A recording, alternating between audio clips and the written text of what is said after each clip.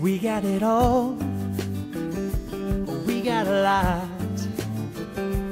We gotta fight to keep what we really want. Don't you forget, no, no, what your father told you. That there's a lot of life that is far beyond you. We're saving a piece at a time, one step in the right direction. Protecting that far and wide, a piece of our wild You know when you're that kid during Christmas and you got just what you wanted for Christmas? That's how I feel right now. How I never ordered from this nursery before, I don't know. First of all, these small plants, 250. These guys, I think 550. But look what we got. Look at the Liatris. I've never even seen most of these for sale.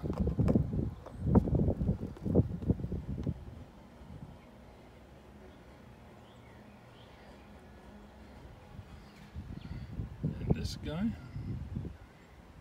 And then on top of that, a purple beardtongue. This is Echinacea pallida. I lost the tag in my excitement of unpacking it. And I've never even heard of this coneflower. never heard of it. And I got a thing for indigos. Baptisias. Small, but it's coming up. It's a native white. And if I'm making an order, I gotta have milkweed. Again, 250, 550.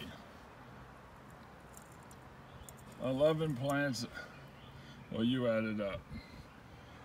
All going in the garden.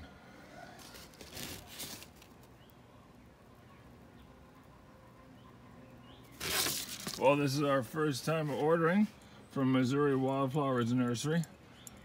And I have to give them a 10 out of 10. Although this stuff was a pain. but I think we could forgive him for the packing material. But that's a lot of shredded paper. Um, anyway, but it's recycled. Outstanding, good quality plants. Even these tiny guys are fully grown. I cannot wait to get these in the garden. Can you imagine what this is going to do for butterflies?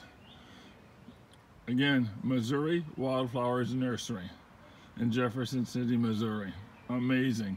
Check them out online. They ship pretty fast. Okay, till next time.